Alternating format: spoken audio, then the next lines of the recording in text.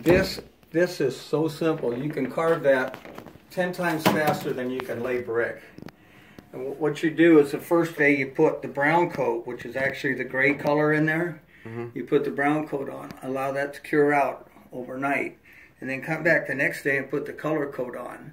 And then I got a, some tools with like a piece of banding that goes up, goes over and down, you know, like regular banding for your lumber. And you take a, a stabila level and put it on there, and you just carve it. And you can uh, you can carve it twice as fast, three times as fast. You can lay brick. Dan, this is.